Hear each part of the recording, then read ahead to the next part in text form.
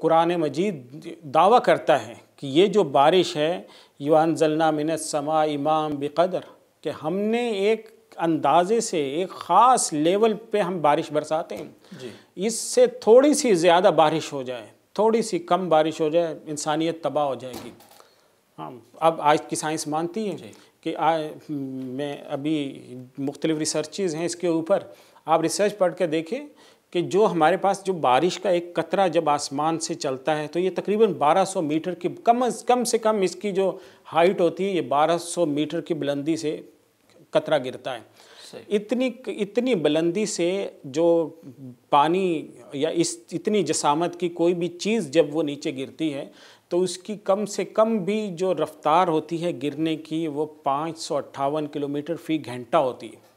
پانچ سو اٹھاون کلومیٹر فی گھنٹہ کی رفتار سے اگر یہ پانی گرتا تو لوگ تو اس کے پانی کے گرنے سے ہی مر جاتے ہیں۔ تو اللہ تعالیٰ اس کو نے ایک ایسا سسٹم مینج کیا ہے کہ وہ بارش کے قطرے آپس میں ٹکراتے ہیں، فضا سے ٹکراتے ہیں، پھر آپس میں ٹکراتے ہیں، پھر فضا سے ٹکراتے ہیں۔ اور اس طرح سے یہ گھسیٹتے گھسیٹتے جب وہ زمین کے اوپر گرتے ہیں، چھت پر گرتے ہیں، فرش پر گرتے ہیں تو اس کی جو گرنے کی شدت ہے وہ صرف چھ سے سات کلومیٹر فی گھنٹہ رہ جاتی ہے۔ تو یہ اللہ تعالیٰ یہ یہ جدید سائنس بتا رہی ہے۔ تو اس سائنس کو دیکھ کر ان ساری معلومات یہ سب آپ کے سامنے کھلی ہوئی ہیں۔ ان تمام معلومات کو اگر جب آپ اپنی آنکھوں سے دیکھ رہے ہیں پھر بھی آپ اللہ کی قدرت کو نہیں مانتے۔ ان پہاڑوں کو آپ دیکھتے ہو کہ ان پہاڑوں کو ہم نے گاڑ دیا۔ آج اس کے اوپر ریسرچ ریسرچ پیپر دنیا میں کیا آپ پڑھیں کہ پہاڑوں کی کیا اہمیت ہے؟ جیسے لوگ کہتے ہیں نا پہاڑوں کی تو کوئی ضرورت نہیں۔ تو پہاڑ تو ختم ہو جانے چاہیے تھے نا کہ ان پہاڑ تو زمین کے اوپر بلندی کا سبب بن جاتے ہیں ان کی وجہ سے رستے مشکل ہو جاتے ہیں ان کی وجہ سے سفر مشکل ہو جاتے ہیں۔ تو لیکن سائنس یہ کہتی کہ اگر یہ پہاڑ نہ ہوتے تو زمین کے اوپر اتنے زلزلے آتے کہ ان کو کنٹرول کرنا ممکن نہیں تھا۔ زمین کی جو پلیٹیں ہیں ان کو کنٹرول کرنے والے یہ پہاڑ ہیں۔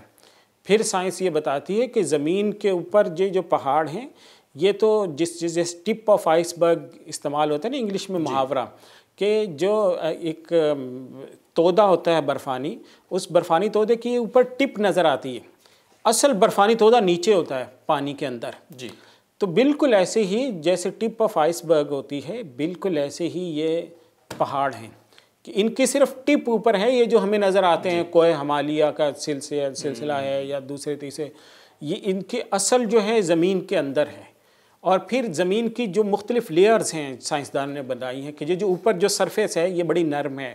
اس کے نیچے کی جو طے ہے وہ سخت ہے۔ اور اس سے نیچے والی جو طے ہے وہ اس سے بھی زیادہ سخت ہے۔ اور گرمائش کا بھی فرق ہے اس طرح۔ تو نیچے تک یہ جو یہ لیول ہے، اس سارے کو مینیج کر کے رکھنا، برابر کر کے رکھنا اور اس کو ڈگمگانے نہیں دینا ان بیلنس نہیں ہونے دینا، یہ سب کا سب ان پہاڑوں کی وجہ سے ممکن ہو سکا ہے۔